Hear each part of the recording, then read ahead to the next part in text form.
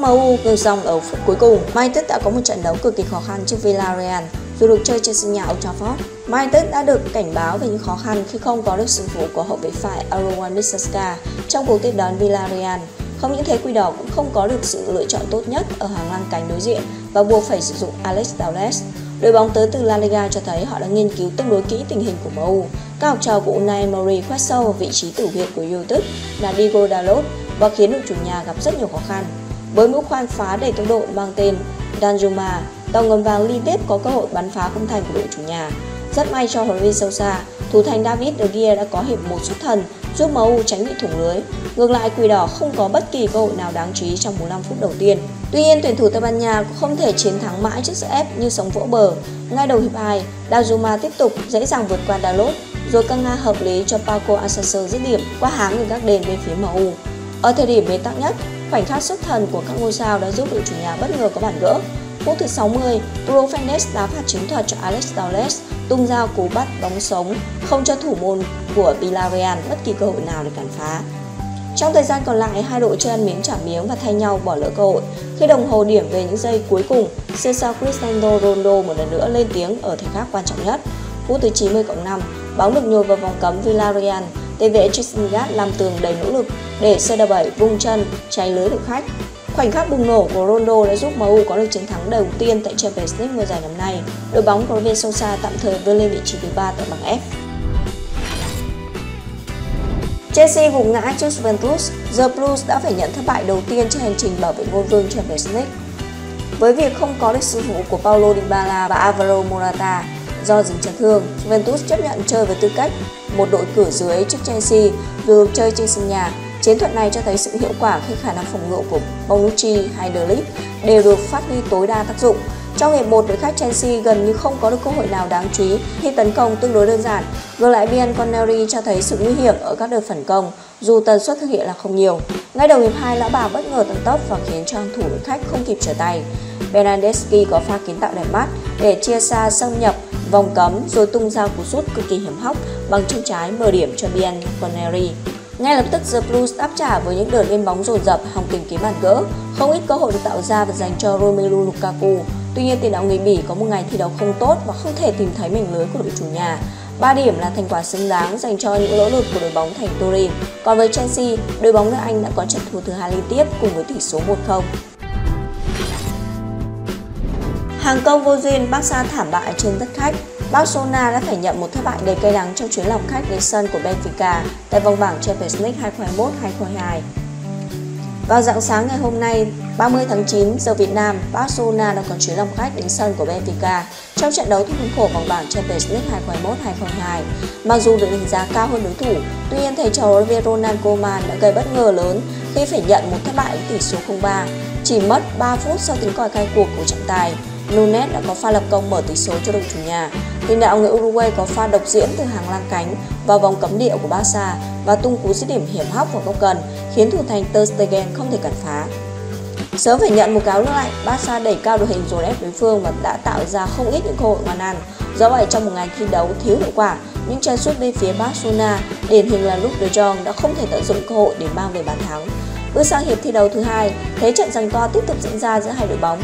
Tuy nhiên kịch tính của trận đấu chỉ được đẩy lên cao trào ở nửa sau của hiệp thi đấu thứ hai. Benfica bất ngờ có được liên tiếp hai bàn thắng vào lưới Barca trong vòng 10 phút, từ phút thứ 69 đến phút thứ 79 với các pha lập công của Nunes và Rafael Silva. Chưa dừng lại đó, trong những phút cuối trận, đoàn quân của Ronald Coleman còn phải nhận tổn thất khi trung vệ Eric Garcia phải nhận thẻ vàng thứ hai và bị chất quyền thi đấu. Kết thúc 90 phút kịch tính tại Nunes, Barcelona đã phải nhận trái đắng trước chủ nhà Benfica. Ronaldo phá kỷ lục UEFA Champions League trong ngày giải đại hạn. Cristiano Ronaldo đã phá kỷ lục của Iker Casillas tại Champions League ở trận United thắng Villarreal với tỷ số 2-1 dạng sáng nay. United thủng lưới trước ở cuộc tiếp đón Villarreal thủ lượt trận thứ hai bằng F sau là pha lập công của Alcacer cho đội khách ở phút thứ 53. Tuy nhiên, Quỷ đỏ ngược dòng thành công nhờ hai bàn thắng của Alex Telles ở phút thứ 60 và Ronaldo ở phút thứ 90 cộng 4. Như vậy, sau 5 trận toàn hòa và thua, United đã lần đầu tiên đánh bại Villarreal. Về mặt cá nhân, đây là trận đầu tiên Ronaldo xé lưới tổng ngầm vàng cho máu quỷ đỏ. Ở thời kỳ đầu chơi cho MU, CR7 từng tịt ngòi ở 4 lần chạm trán đối thủ khó chịu này tại Champions League mùa 2005-2006 và 2008-2009. Không chỉ giải đại hạn bàn thắng trước Villarreal, Ronaldo còn xô đổ kỷ lục ra sân nhiều nhất tại Champions League của Iker Casillas 177 trận. Trước đó tuyển thủ Bồ đã san bằng thành tích này ở trận MU thua Young Boys. Ngoài kỷ lục thi đấu nhiều nhất tại Champions League 178 trận, Ronaldo còn cân bằng thành tích ghi nhiều bàn thắng, mang về chiến thắng nhất từ phút thứ 90 trở đi tại Champions League của Sergio Aguero với 3 bàn. Chưa kể ngôi sao người Bồ Đào Nha, 36 tuổi 236 ngày, còn đi vào lịch sử với tư cách là cầu thủ nhiều tuổi thứ hai ghi bàn cho MU tại Old Trafford ở Cúp châu Âu. Trước CR7, huyền thoại Brent Robson, 36 tuổi 282 ngày, từng làm được điều này vào năm 1993 ở trận đấu với Galatasaray. Tính cả pha lập công trước Villarreal, Ronaldo đã ghi được 5 bàn trên 5 trận tại Premier League với 3 và Champions League là 2 từ khi tái hợp United. Đây là hiệu suất lập công cực kỳ ấn tượng của ngôi sao người Bồ Đào Nha. UEFA tăng nặng án phạt đối với Wan Bissaka. Hậu vệ Aaron Wan Bissaka vừa bị Liên đoàn bóng đá châu treo giò thêm một trận nữa tại Champions League. Ở trận mai tiếp thua Young Boys với tỷ số 1-2, Wan Bissaka dính thẻ đỏ trực tiếp ở phút thứ 35 vì pha phạm lỗi đối với Christopher Martin Pereira. Vì thế hậu vệ người Anh sẽ bị treo giò một trận. Trận quỷ đỏ tiếp đón Villarreal dạng sáng ngày hôm nay, thuộc lượt thứ hai bảng F Champions League. Tuy nhiên sau khi mổ băng xem xét kỹ pha phạm lỗi thô bạo này, UEFA quyết định tăng nặng án phạt đối với cầu thủ của MU lên một trận nữa. Như vậy, Wan sẽ bị treo giò thêm một trận quỷ đỏ chạm trán Atalanta tại Old Trafford thua lượt trận thứ ba vòng bảng Champions League vào ngày 21 tháng 10. Chiếc thẻ đỏ tai hại của Wan là nguyên nhân chính dẫn đến thất bại của MU trước Young Boys. Sau khi gục ngã tại Thụy Sĩ, họ chịu thêm hai thất bại nữa trong 3 trận, một ở Carabao Cup và một tại Premier League. Sốc, Arsenal mất Granit Xhaka đến hết năm 2021. Chấn thương của Granit Xhaka nặng hơn đồn đoán và Arsenal xác nhận tuyển thủ Thụy Sĩ mất 3 tháng để điều trị. Như đã biết, Granit Xhaka đã dính chấn thương ở những phút cuối trận derby Bắc London sau pha va chạm với Lucas Moura. Saka sau đó đã phải nẹp chân phải và theo thông tin được Sunsport đăng tải vào đêm qua, tuyển thủ Thụy Sĩ mất khoảng 6 đến 8 tuần để điều trị. Tuy nhiên mọi chuyện còn tồi tệ hơn thế. Cách đây giờ Arsenal thông báo Saka đã gặp về vấn đề dây chằng đầu gối và sẽ ngồi ngoài khoảng 3 tháng, tức đến hết năm 2021. Đây là đòn giáng mạnh với Arsenal trong khi họ đang trên đà hồi sinh với 4 trận thắng liên tiếp trên các đấu trường. Một thông báo được Arsenal phát đi cho trang chủ. Sau trận đấu gặp Tottenham hôm Chủ nhật, các cuộc kiểm tra và đánh giá xác nhận rằng Granit Xhaka đã bị chấn thương nặng dây chằng đầu gối phải. Sau cuộc họp của các chuyên gia vào hôm thứ Ba, việc điều trị chấn thương của Xhaka được thống nhất, không cần phẫu thuật. Quá trình hồi phục cho Xhaka sẽ được bắt đầu ngay lập tức. Chúng tôi hy vọng anh ấy sẽ trở lại sau khoảng 3 tháng. Tất cả mọi người ở câu lạc bộ bây giờ sẽ hỗ trợ tối đa cho Saka để anh ấy có thể tái xuất sân cỏ càng sớm càng tốt. Sau trận thắng Tottenham, huấn luyện Mikel Arteta thừa nhận ông lo lắng về chấn thương của Saka, nhưng kết quả kiểm tra còn tệ hơn so với dự đoán ban đầu của chiến lược gia người Tây Ban Nha. Như vậy, Saka sẽ bỏ lỡ một phần đáng kể của Premier League mùa này và cũng sẽ vắng mặt trong chiến dịch vòng loại World Cup 2022 sắp tới của Thụy Sĩ. Ấn định thời điểm trao giải quả bóng vàng 2021 theo xác nhận của tạp chí Frank Football, lễ trao giải quả bóng vàng 2021 sẽ diễn ra vào ngày 29 tháng 11 tới. Trong năm 2020, vì ảnh hưởng của đại dịch Covid-19, tạp chí France đã quyết định không trao giải quả bóng vàng, nhưng trong năm 2021, giải thưởng cá nhân danh giá nhất bóng đá thế giới sẽ sớm trở lại.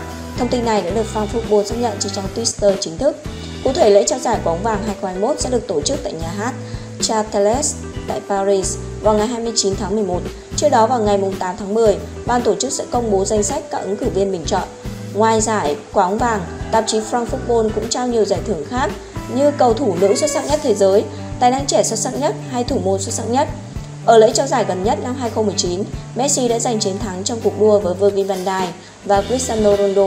Giải thưởng của nữ được trao cho tiền vệ Megan Rapinoe của đội tuyển Mỹ. Vào ngày 8 tháng 10 tới, tạp chí France Football mới chính thức công bố danh sách đề cử.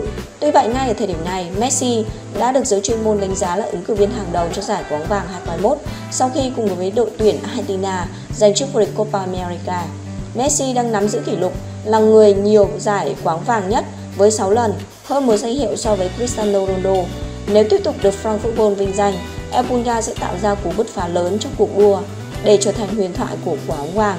Đứng ngay sau Messi trong danh sách ứng cử viên theo đánh giá của các nhà cái châu là tiền đạo Robert Lewandowski Ngôi sao người Ba Lan đã thi đấu bùng nổ trong năm 2020, nhưng giải bóng vàng đã bị hủy bỏ một cách đáng tiếc. Năm nay Lewy tiếp tục thể phong độ sân bàn ấn tượng nên vẫn được đánh giá cao. Các ứng cử viên xếp sau là Jorginho, N'Golo Kante và Kevin De Bruyne. Cảm ơn quý vị các bạn đã theo dõi video của chúng tôi. Hãy cho chúng tôi biết ý kiến của các bạn bằng cách comment bên dưới. Đừng quên nhấn đăng ký kênh, biểu tượng chuông bên cạnh để theo dõi những thông tin mới nhất. Và giờ xin chào và hẹn gặp lại.